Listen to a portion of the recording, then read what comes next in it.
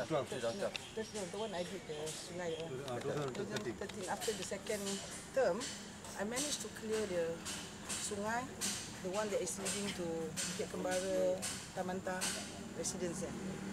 So now, it's this time around. So it's JPS. We have to work with JPS untuk memastikan bahawa uh, longkang-longkang yang uh, sudah jatuh eh yang terdapat erosion tu dari hakis tu harus diperbetulkan dan jika ada peluang jalan kita kena perbesarkan itu yang kita akan minta satu kerja long term lah daripada JPS so in the short term kita buat immediately minta dengan MPAJ untuk uh, tolong clearkan uh, apa ni semua sampah-sampah dan debris-debris pasir-pasir yang apa mendap di situ untuk dibersihkan immediately eh?